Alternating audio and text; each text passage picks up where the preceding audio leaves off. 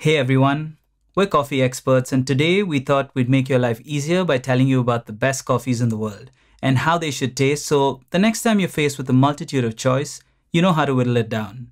We'll break it down into simple categories you should keep in mind. Arabica, check. High altitude, check. Nothing below 1400 meters, please. Clean and washed, check. No funky processes, thank you very much. Light roast, check. You can really taste the lands. Mmm. The best coffees are unequivocally worth all the extra money you pay for them. Okay, and to inaugurate this video, let's take a ceremonious sip of one such coffee.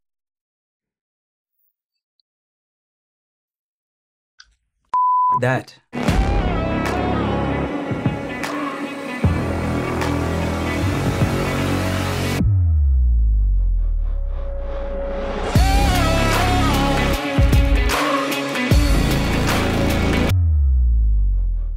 Before we get started, I just wanted to say that thought pieces like this take way more time and effort than any of our product reviews do and get us way less views. But we just can't help ourselves. It's taken us the better part of a year to research this topic and form our opinions on it, so we really hope you'll take the time to watch this through, and a sub to the channel would be much appreciated. We welcome likes and dislikes equally, and would love to start a fight in the comments below.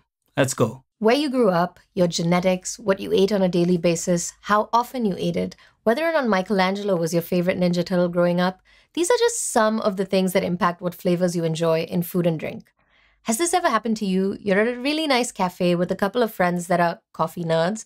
There's some lo fi music, a lovely minimalist wooden decor, a very friendly and very knowledgeable barista. Quick vibe check? Excellent. You all try a really exclusive coffee that costs $20 a pop. Everyone, including you, agrees that it was delicious. Except you didn't really think it was. There's some things you do agree with. There was an aftertaste that lingers for ages. It had a light body. You got floral and fruity strawberry like notes. But beyond that, it's not something you loved and definitely not enough to drink again. So you think there's something wrong with you and you've now spent $20 on a cup of coffee only to spend $200 on therapy because you're hating on yourself for having unrefined tastes. Okay, real talk. You're not unrefined or crazy for not liking something you paid top dollar for and have been told is amazing. P.S. Aren't you also a little tired of being told what you should aspire to like? I've suddenly tasted some very fancy French food that I thought could have used a splash of Tabasco. Maybe no matter how hard you try, you just revert to your old choices. Or maybe you try and try and try and actually grow to like the thing that you didn't before. Both are possible and neither scenario is wrong. There's a reason for why this happens and it goes beyond just refining your palate. There's a lot more to flavor than meets the eye. Sorry, tongue. So today we take you on a fascinating journey through the good, the bad, and the ugly side of flavor by understanding how preferences develop, debating objectivity, and looking at how we can change our relationship with flavor to open up the possibilities of which coffees make it to rarefied specialty status beyond what we ever thought possible. Oh, and the cherry on top, we had the amazing opportunity to talk to Dr. Paul Rozin, world-renowned professor of psychology at the University of Pennsylvania, and nicknamed the world's leading expert on disgust. We've thrown in snippets of our conversation we had with him last year throughout the entire video, so backed by some serious research chops, this video gives legitimacy to the idea of you do you. Before we dive deeper, let's get the basics out of the way. What exactly is taste? Taste is what we experience solely through our taste buds. This includes the five basic tastes of sweet, sour, salty, bitter, and umami or savory. We also have things like kokumi and piquancy, but it's out of the scope of this video, so let's keep it simple. Flavor, on the other hand, is taste combined with smell.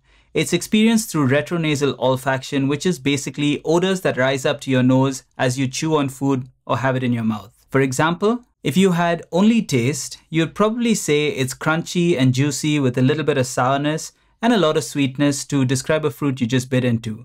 And I can think of several that fit that bill. You need retronasal olfaction to be able to say it's an apple. Okay, wait, here's another one. Say I said it starts out sour and settles into something more balanced and bittersweet, quite alright as far as taste goes. Again, once retronasal olfaction kicks in, I quickly realize it's fruit juice that tastes a bit off to be honest. Oh wait, no. This is that $20 cup of geisha. So are there objectively good and bad flavors? This is an important question to answer because so much of what we consider to be high quality coffee essentially comes down to what we think is great tasting in the cup. And we're willing to pay an amazing amount of money for this great tasting coffee. We have an entire section dedicated to the fascinating relationship between great flavors and money, which we'll get to a little later on. But let's get back to the question at hand Are there objectively good and bad flavors? Well, I would say probably no. Well, while the short answer is no, there are, however, flavors that are objectively more interesting than others. It's got there's got to be something to grow into and appreciate. And if it's very simple, like sugar water, there's nothing to do with it. So, like Dr. Rozin says, sugar water is boring and one dimensional. But there's a few things that we can say make for enjoyable flavor experiences, and these are measurable. Two examples of this are aroma and complexity. I don't know much about the dynamics of coffee aroma, but I'm sure over the first 10 seconds of a sip, you get different experiences as the different volatiles get up to your nose and all sorts of things. So I think there are some things you might say are general things that would contribute to the experience and, and, and be the basis for connoisseurship. But there may be other things like acidity, which could go anyway. And complexity is two things. It's not just the number of flavors and the way they're related, it's also the time course of the experience. So when you take a sip of coffee, the over the next 10, 15 seconds, you have a series of experiences. The more varied and uh, long lasting that is, probably the better because your actual sip is only a second or two, right? And you want more than a second or two of experience. Dr. Rozin deconstructs two highly complex and dynamic foods a little later on, so you're going to want to stick around for that. So, we've now established that a combination of certain qualities in food and drink make for great experiences. But we often find that we make this jump from an interesting or novel experience in your mouth to specific flavors being more coveted than others. You remember the example of being in the coffee shop with your friends? You agreed that the aftertaste was long, right? And that it tasted fruity, sort of like strawberries. But then there was this leap from that to now suddenly strawberry being an amazing flavor and sought after in coffee. So, how does this happen, and how do these preferences for certain flavors come about? Let's find out. All of us have this, right? We love certain flavors and experiences to the point where we almost feel like it's a part of our identity. You may find yourself saying, Dude, I love Negronis. I could eat pizza my entire life. Or, like my sister, I just don't do coriander. So, for me to figure out how I became this pretentious coffee snob, I needed to first understand where taste preferences come from and how they are developed over time. You may think, why is that even important? I know what I like, and that's that. Well, it's a beverage we love so much we choose to put it into our bodies every day, and we love the way it makes us feel. And through coffee and our preferences, I think we can discover a lot about ourselves. And some of this stuff is just downright wild. Number one, genetics. Well before you've ever put any food or drink in your mouth, you are genetically predisposed to like or dislike certain flavors depending on your ancestry. Yes, it's written into your very DNA. So if you're addicted to sugar, well, that's most people, so don't go blaming your parents. If you're hooked to coffee, you can blame us. But if, say, coriander tastes like soap to you, then you likely have an olfactory receptor gene that's making this delicious garnish unbearable. Number two is conditioning. And if I had to define this simply, it would be repeated exposure to certain food and drink. There are four types of conditioning. The obvious one would be location. Your surroundings and the things available to consume in the place where you live have a big influence on your preferences. Next would be cultural influence. In many cases, this is even more powerful than location, especially at younger ages. No matter where in the world you grew up, if you're South Indian like me, you ate idli and dosa for breakfast and sambar rice and curd rice for meals. Ha! if only coffee had tasting notes of curry leaves and turmeric, I'd be a Q grader. Then we have the famous acquired taste. This is another type of conditioning where you intentionally and repeatedly expose yourself to things you may not enjoy at first, like coffee or caviar, to slowly develop a taste for them over time. And the last one is the craziest. What your mother ate while she was pregnant with you actually influences your taste preferences. My mother ate sambar rice and curd rice. Anyway, three, we have associations. This is super interesting too because Apparently, we're more inclined to enjoy foods that we associate with happy memories. Okay, research aside, the reason why I think this is absolutely true is because a very close friend of mine casually consumes Gelusil. And for those of you who don't know what that is, it's Pepto Bismol's antacid cousin and tastes much worse. I know, it's not like Pepto Bismol is gourmet food. If I had to describe it, imagine sugar syrup infused with a hint of peppermint and about 50 kilos of pink chalk powder. Honestly, it's like drinking slightly watered down toothpaste, so something truly life changing must have happened right around the time he took that first swig. It's the only logical explanation.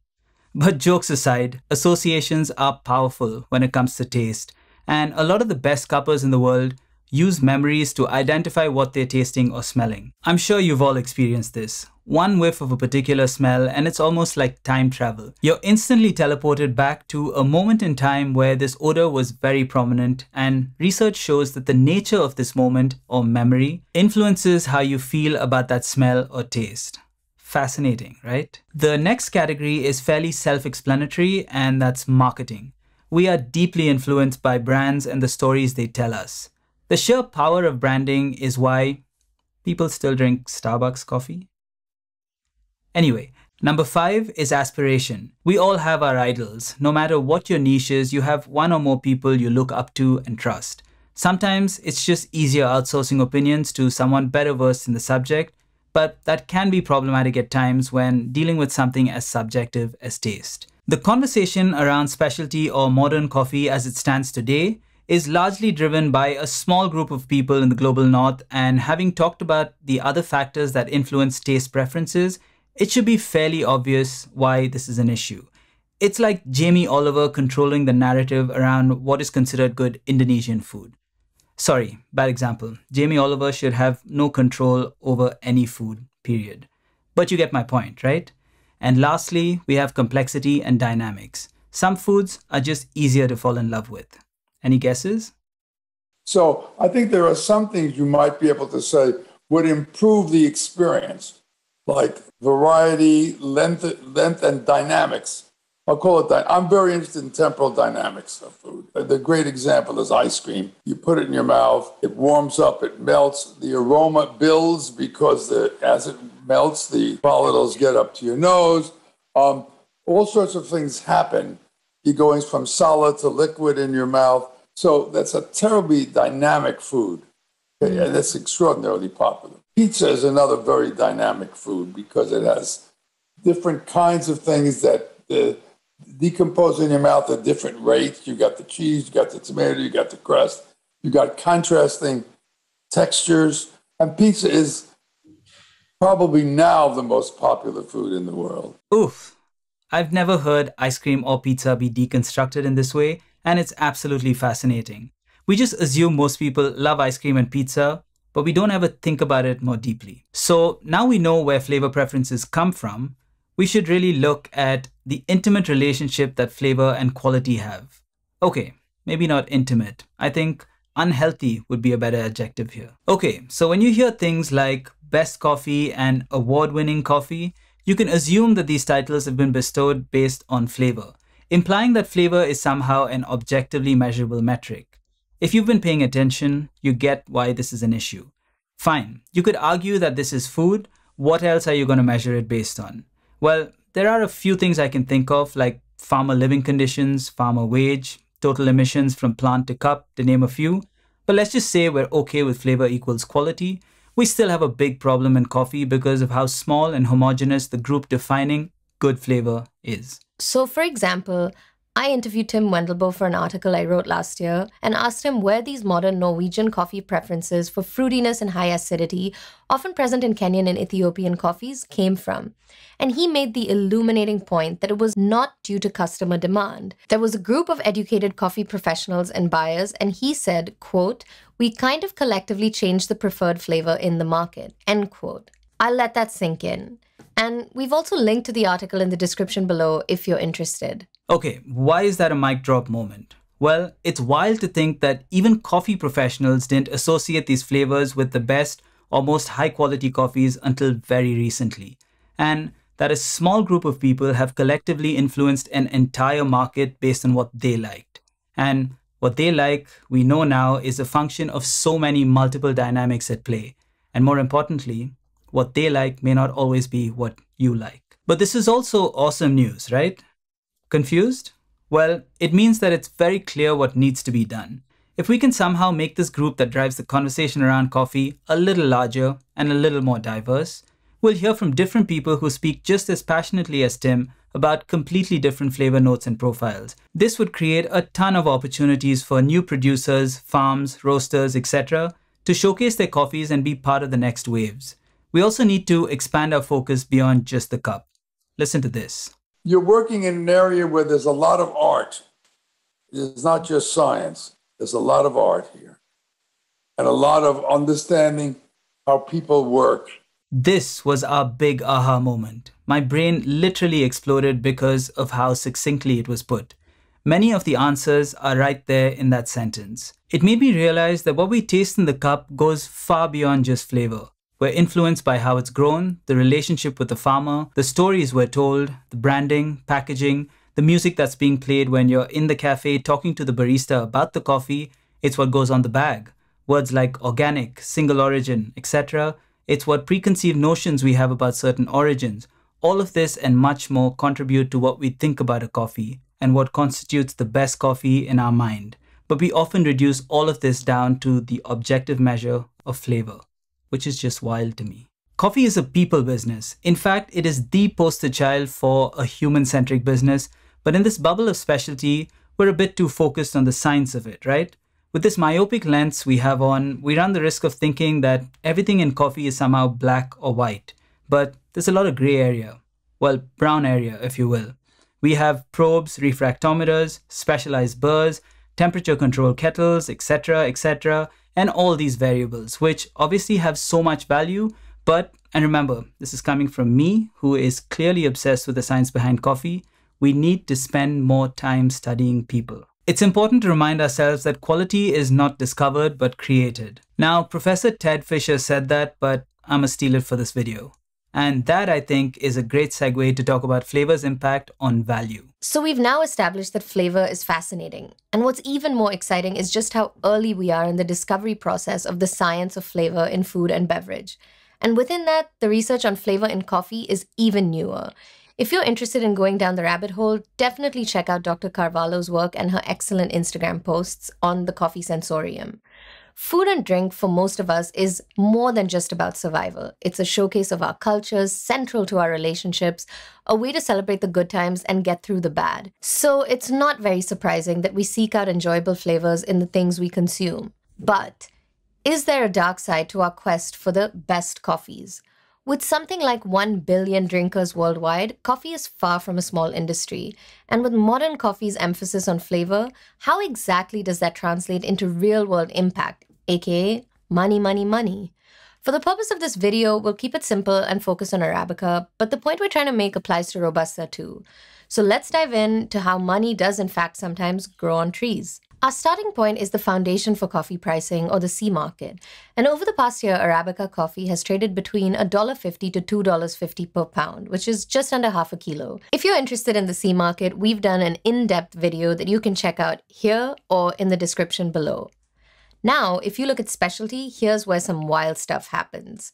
Exclusive microlots of third wave quality green beans routinely go for more than $20 a pound. In 2007, the $100 per pound level was first broken for the infamous geisha varietal from Hacienda La Esmeralda in Panama. The 2019 winner of the Best of Panama, the Elida Geisha Natural, was auctioned for a whopping and record breaking $1,029 per pound in 2022. To re-emphasize, that's versus $1.50 on the C market. So are we trying to say that the flavors in this coffee are 686 times better than what's available on the C market? That is some serious value creation. If a higher price automatically implies better quality, what makes these microlots and heirloom varietals so much more special? Well, it all comes down to what's in the cup, which basically translates to what flavor experiences a cup gives you. In this way, specialty coffee often conflates quality and flavor. But we now know that great flavor is not an objective metric, so you can slowly start to see how this can become problematic. Before we get into that, let's take a step back and see how coffees are evaluated. Coffee tasting professionals or Q graders perform what's called a cupping to evaluate a specific coffee and give it a score on 100. If you've bought specialty coffees either at a store or drunk it at a cafe, you may remember reading a number on a bag or be told by a barista that the coffee you're drinking is a 90 plus. In fact, when confused by too much choice, you maybe even scan the aisle and filter your choices down to 85 pluses only. When serious evaluations are being done, they usually perform blind or with no knowledge of which coffee is from where. Ted Fischer says that amongst specialty coffee professionals, there is, quote, pride and trust in the objectivity of the blind cupping, the epitome of meritocratic process. But at the same time, these conventions constitute a specialized knowledge that marks a certain kind of cultural capital. End quote. So after reading this, it made me think that to get to the point of being specialized enough to score coffees objectively, you've gone through a series of steps, courses, trainings, all which happen to be self selecting. For example, if you look at Q instructors, the people that train Q graders, 19 out of 52 are from the United States. When you have approximately 36% of instructors from one country in the West, it's hard not to question how much of an outsized influence that might have on what they consider to be great tasting coffee. Professor Ted Fischer talks about a blind cupping he did once and how labeling flavors was something he struggled with, like any novice would, but was then gently guided in a particular direction. Maybe it's raspberry and not pomegranate. So he discusses in the paper how there is a subtext of the proper vocabulary. To be honest, my experience doing sensory training in London was very similar.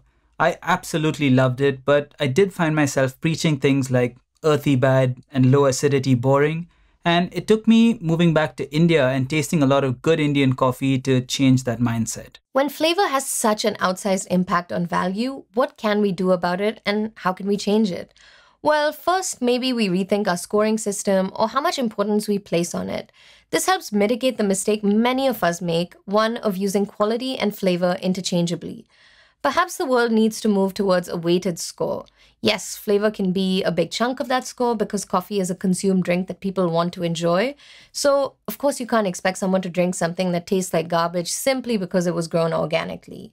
But maybe we have weights for how it's grown, how equitable it is for farmers on that farm, how much fertilizer is being used, etc. Or, as Ashley Rodriguez, aka Boss Barista, explores in her article for Standart and her newsletter and podcast, we explore completely novel ideas like democratic lotteries for coffee, both for how coffee is sold or even at competitions like the Cup of Excellence.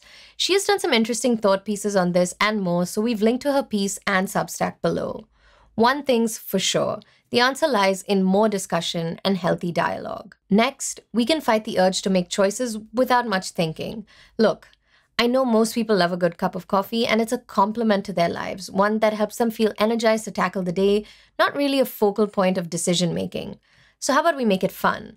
One day of the week or even month, you try a bag of coffee you wouldn't have tried otherwise for its flavor, but maybe try it for another metric, say for the biodiversity aspect.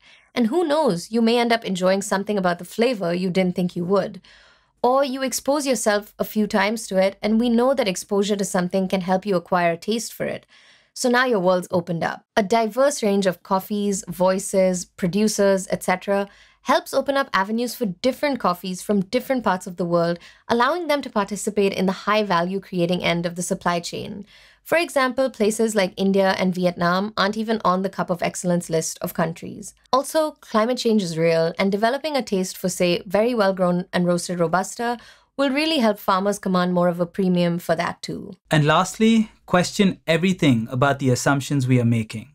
In objective blind cuppings, for example, there may in fact be a baseline of bias we haven't managed to get around. Look, I'm not trashing on the Cup of Excellence or Q graders. In fact, we think they are absolutely vital and powerful tools in moving coffee forward.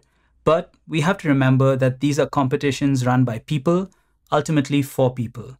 And no matter how trained they are, they have been influenced by a multitude of factors over the course of their lives. And to assume a 100% level of objectivity wouldn't just be incorrect, it also wouldn't be fun. So the next time you outsource your decisions to the numbers on bags or to people whose opinions you trust, Think about the outsized influence that has on what you consider to be great tasting coffee. If you made it this far, thanks so much for sticking with us. We've talked about a lot taste, flavor, quality, value, and your preferences. We find this whole area of research fascinating and think it's very pertinent to the times we live in as we think about coffee's next waves.